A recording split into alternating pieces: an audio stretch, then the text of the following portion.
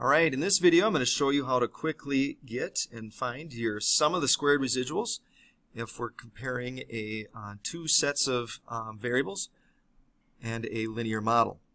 So what I need you to do is I need you to go to this home button and go to this spreadsheet and I'm going to go back to the tab that I was just in and I want you to put in some data.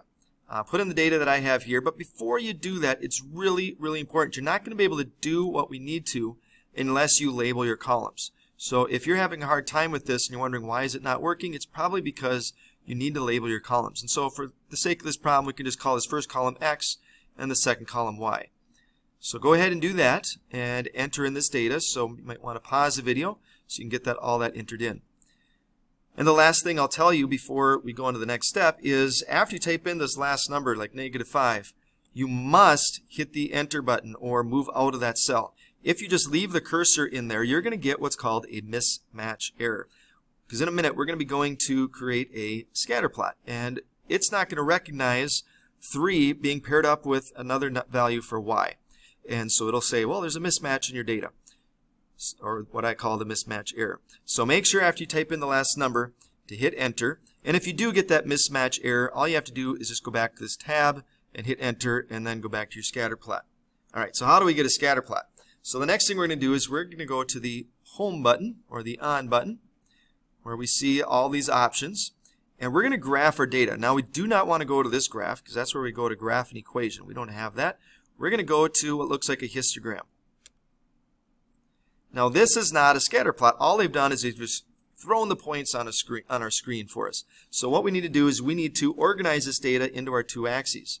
Now you could do this a long way. The long way would be to, because you have a touchpad, so you could use your touchpad to scroll down and click down here and then scroll over here, which seems easy enough, but it's a lot faster if you just hit the tab button. That's what I like to do. If you hit the tab button, a menu will come up here for what do you want on the bottom axis. Well, that's going to be our x values. And then hit the tab button again and you can select the y-axis for the left side.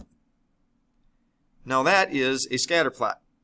The next thing, in order to get the sum of the squared residuals, is the next thing we're going to do is find the regression line. Okay, we can't get the sum of the squared residuals without a regression line. So we're going to go to Menu, Analyze, Regression.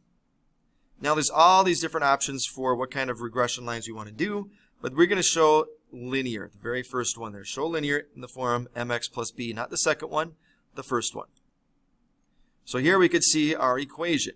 Okay, now that we have our linear equation or a linear model there, the next step is to find the sum of the squared residuals.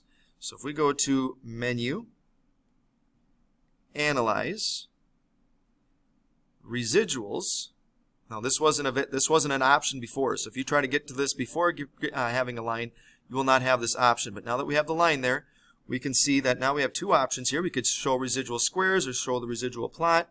We're going to do show residual squares. And so now we can see the sum of the square residuals is about 1.9. So that is a quick and easy way to be able to get your sum of your residual squares.